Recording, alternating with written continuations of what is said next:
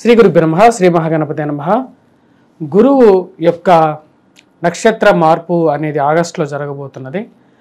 ఈ యొక్క నక్షత్ర మార్పు అనేది మనం గత నక్షత్ర మార్పు గురించి కూలంకషంగా వివరించడం జరిగింది. ఇప్పుడు జరుగుతున్నటువంటి మార్పు వచ్చేటప్పటికి గురు నక్షత్రం అంటే గురువు తన యొక్క నక్షత్రం ప్రస్తుత నక్షత్రం వచ్చేటప్పటికి శుక్రుడి యొక్క నక్షత్రమైనటువంటి రోహిణి నక్షత్రంలో శత్రుస్థానంలో ఉన్నాడు. ఈ యొక్క స్థానం నుంచి తన యొక్క మార్పు అనేది జరగబోతున్నది. కుజుడు నక్షత్రమైనటువంటి మృగశిర నక్షత్రంలోకి మార్పు జరగబోతుంది. రాబోతున్నటువంటి వంద రోజుల పాటు అంటే నవంబర్ ఇరవై ఎనిమిదవ తారీఖు వరకు కూడా గురువు ఈ యొక్క మృగశిర నక్షత్రంలోనే ఉండబోతున్నాడు. ఈ మృగశిర నక్షత్రంలో ఉండబోతున్నటువంటి గురువుకి కుజుడికి ఎటువంటి కంపాటబిలిటీ ఉంది అనేది మనం చూద్దాం. మృగశిర నక్షత్రానికి అధిపతి వచ్చేటప్పటికి కుజుడు కుజుడికి గురువుకి మిత్రత్వం అనేది ఉంది. గత మనం చూసినటువంటి వంద రోజుల పరిస్థితి మనం చూసినట్లయితే చాలామంది టీవీ న్యూస్ పేపర్స్లో కూడా చూస్తుండవచ్చు ఇదే విధంగా కూడా ఒక డిబేట్ కూడా మనకు వచ్చేటప్పటికి టీవీ నైన్లో జరిగింది. క్రోధీనామ సంవత్సరంలో ఇటువంటి అరిష్టాలు ఎందుకు జరుగుతున్నాయి అని మనం వివరించేటప్పుడు గురువు యొక్క నక్షత్ర స్థితిగతి గురించి కూడా నేను చెప్పాను. గురువు శత్రుస్థానంలో ఉన్నప్పుడు ప్రకోపం అనేది ఎక్కువగా ఉంటుంది.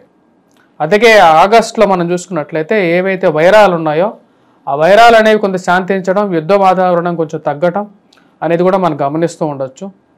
ప్రకృతి ప్రకోపం అనేది కూడా తగ్గుతూ ఉంటుంది. ఇప్పుడు రాబోతున్నటువంటి వంద రోజుల పాటు మృగశిర నక్షత్రంలో గురువు ఉన్నప్పుడు కొంచెం కంపాటబిలిటీ అనేది ఉంటుంది.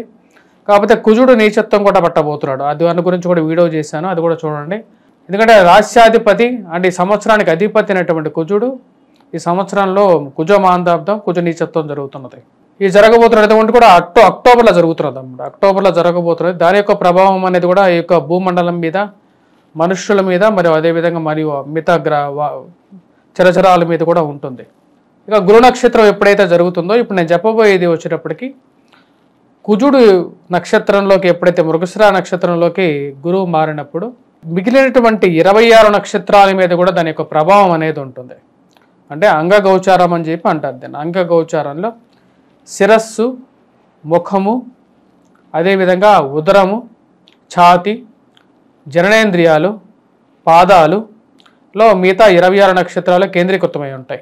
ఒక నక్షత్ర మార్పు జరిగినప్పుడు ఇరవై ఆరు నక్షత్రాల మీద కూడా దాని యొక్క స్థితి ఫలం అనేది ఇవ్వడం జరుగుతుంది. దీన్ని బట్టి కూడా ముహూర్త నిర్ణయం అదేవిధంగా మిగతా ఇరవై ఆరు నక్షత్రాల యొక్క స్థితిగతి మీద వాడి యొక్క ఫలం అనేది చెప్పడం జరుగుతుంది.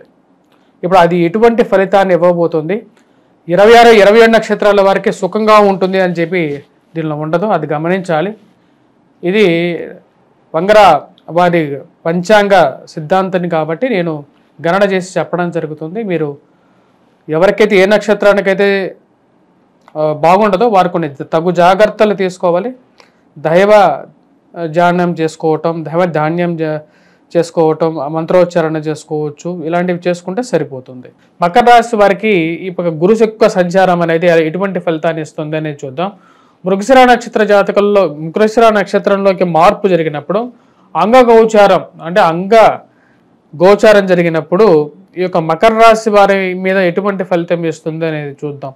ముఖ్యంగా వచ్చినప్పటికీ ఇక్కడ ఉత్తరాషాఢ నక్షత్ర జాతకం వచ్చినప్పటికీ ఉదరంలోకి వస్తుంది అనమాట అంటే మొదటి నక్షత్రం వచ్చినప్పటికీ ఉదరంలోకి రావటం వల్ల సిరిని ధనాన్ని యోగ్యతని ఇవ్వగలుగుతుంది. వివాహ ప్రయత్నాల్లో అనుకూలతని ధన సంబంధితమైన విషయాల్లో అనుకూలతని ఇవ్వగలుగుతుంది.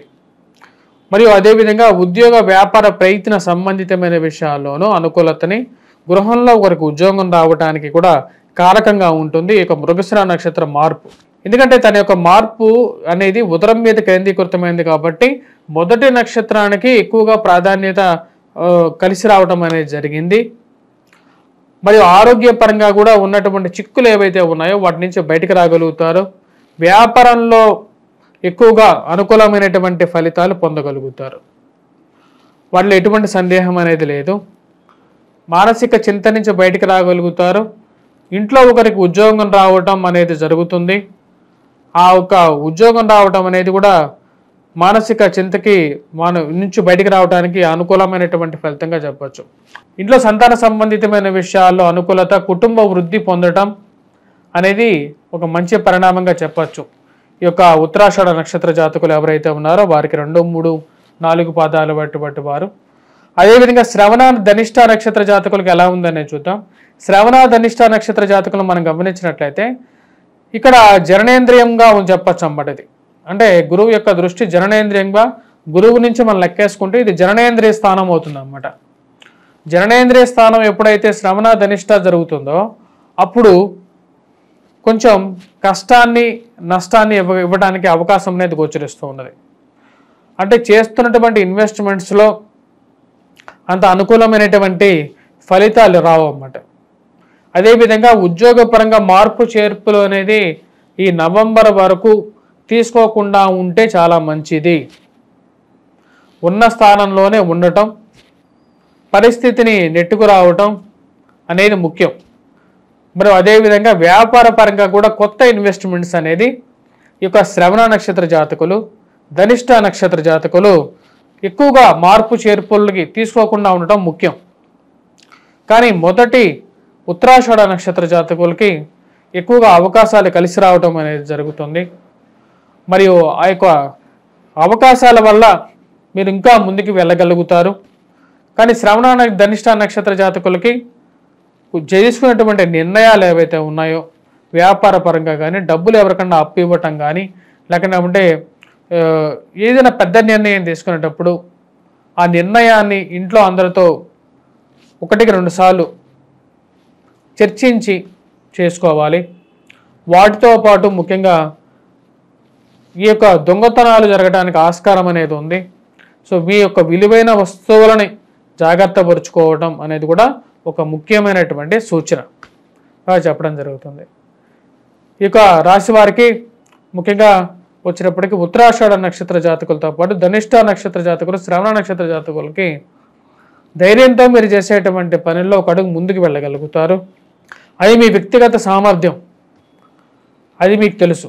కానీ ఎప్పుడైతే సమయం అనుకూలంగా లేదో ఆ సమయంలో పెద్ద పెద్ద నిర్ణయాలు అనేవి ఎక్కువగా పనికిరావు.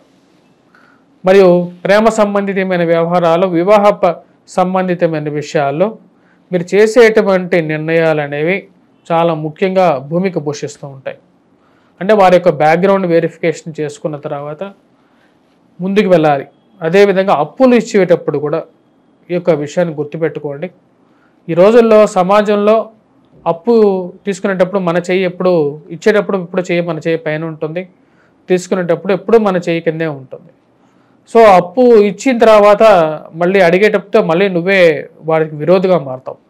సో ఈ నష్టాన్ని పూడ్చుకోలేనటువంటి పరిస్థితి ఏర్పడుతుంటుంది కాబట్టి చెప్పడం జరుగుతుంది. ఎటువంటి పరిహారాలు చేసుకోవాలి అనేది చూద్దాం. ఈ రాశి వారికి వచ్చేటప్పటికి ముఖ్యంగా రాశితో పాటు నక్షత్ర రీత్యా చెప్పడం జరిగింది. ఇరవై ఏడు నక్షత్రాలకి ఏ నక్షత్రానికి ఆ రాశిలో ఉన్నటువంటి మూడు నక్షత్రాల్లో ఏ నక్షత్రానికి బాగలేదు కూలంకషంగా చెప్పడం జరిగింది. సో ఈ నక్షత్ర రీత్యా ఆ నక్షత్ర వాళ్ళు ఎవరెవరికైతే కొంచెం ఇష్యూస్ అనేవి ఎదురవుతూ ఉన్నాయో వారికి వారి యొక్క సొంతంగా ఎక్స్పీరియన్సెస్ బేస్ మీద కూడా వారు ముఖ్యంగా వచ్చినప్పటికీ గాయత్రి మంత్ర జపం ఎవరికైతే ఉపాసన ఉందో గాయత్రి మంత్ర జపం చేసుకోవచ్చు. లేనటువంటి వారు మేధా దక్షిణామూర్తి శ్లోకాన్ని మేధ దక్షిణామూర్తి శ్లోకాన్ని పఠించడం అదేవిధంగా గురువారం పూట దత్తాత్రేయ స్వామిని పూజించినట్లయితే సరిపోతుంది. లేనటువంటి వారు వారు నివసించేటువంటి గృహంలో ముఖ్యంగా ఈ నార్త్ ఈస్ట్ సైడ్ దీపాన్ని ఉదయం పూట సాయంకాలం పూట దీపారాధన చేయగలిగి ఎందుకంటే మన పూజా మందిరం north east facing north east side ఉంటుంది లేకపోతే ఈస్ట్ ఫేసింగ్లో కానీ ఉంటుంది. అక్కడ దీపారాధన అనేది అనునిత్యం చేయాలన్నమాట. అంటే ఉదయం పూట సాయంకాలం పూట రెండు పూట్ల చేయటం వల్ల కొంచెం అనుకూలమైనటువంటి ఫలితాలు ఎక్కువగా ఉంటాయి. ప్రతి పూర్ణిమ రాబోతున్నటువంటి పూర్ణిమలు ఏవైతే రాబోతున్నాయో అంటే భాద్రపద పూర్ణిమ నెక్స్ట్ రాబోతున్నటువంటి అక్టోబర్లో మనకు వచ్చేటప్పటికి ఆశ్వీజ పూర్ణిమ అనేది ఉంటుంది. ఈ యొక్క పూర్ణిమల్లో వచ్చినప్పుడు నెక్స్ట్ కార్తీక పూర్ణిమ అనేది ఉంటుంది. ఈ పూర్ణిమల్లో కానీ ఎందుకంటే ఇది అక్టోబర్ వరకు రాబోతున్నటువంటి నవంబర్ వరకు కూడా ఉంటుంది. రాబోతున్నటువంటి వంద రోజుల పాటు ఈ యొక్క గురు సంచారం అనేది మృగశిరా నక్షత్రంలోనే ఉంటుంది. మృగశిరా నక్షత్రంలో గురు సంచారం జరుగుతున్నప్పుడు కొన్ని నక్షత్రాలకు ఏవైతే బాగలేదో వారు మటుకు ఈ యొక్క పరిహారాలు పాటించవచ్చు. మిగతా వారు కూడా దక్షిణామూర్తి శ్లోకాన్ని పఠించడం కానీ వాటిలో ఎటువంటి దోషం అనేది లేదు. ఎందుకంటే గురువు జాతకరీత్యా ప్రతి ఒక్కరి జీవితంలో చాలా ఇంపార్టెంట్ రోల్ ప్లే చేస్తూ ఉంటాడు. వారు పుట్టినటువంటి సమయాన్ని బ- సమయాన్ని బట్టి లగ్నాన్ని బట్టి మరి అదేవిధంగా చంద్ర లగ్నాన్ని బట్టేసేసి కూడా వారికి ప్రభావం అనేది ఉంటూ ఉంటుంది అన్నమాట సో ఇటువంటి పరిహారాలు చాలా సింపుల్ రెమెడీస్ మన ఇంట్లోనే చేసుకోవచ్చు అన్నమాట. సో మన ఇంట్లోనే మన పిల్లలకి కూడా నేర్పించండి. ద- దక్షిణామూర్తి శ్లోకాన్ని ఎలా చదవాలి? మరియు అదేవిధంగా మన యొక్క దీపారాధన క్రియలు ప్రక్రియలు చేయటం అనేది ఎలా చేయాలి అనేది కూడా మీరు పాటించినట్లయితే శుభం కలుగుతుంది. స్వస్తి.